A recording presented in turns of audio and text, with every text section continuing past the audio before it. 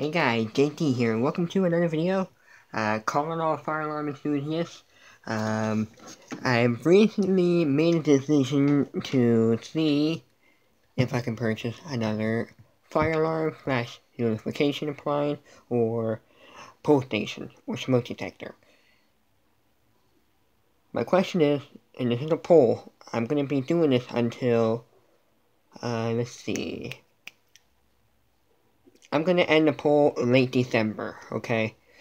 So, you say it for me. What should I get? A pull station? Another alarm? Uh, whoa.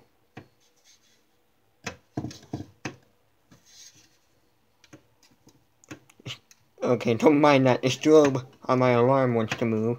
For whatever reason. Anyway. What should I get? Should I get another alarm? Should I get a speaker strobe? Should I get a pull station. And if I do get a pull station, I would love to mount it right here. It's not hard to wire a pull station as a light switch, but I would love to get a pull station. Should I get a smoke detector?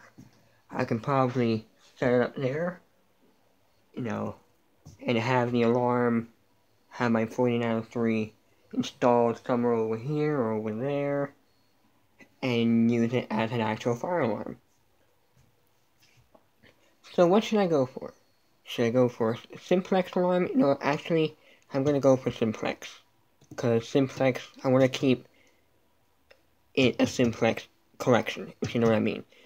I went to high school, they had a simplex system, and I want to keep it simplex. So, what should I get? Should I get another 4903, a True Alert, pull station smoke detector, it has to be from Simplex. Okay?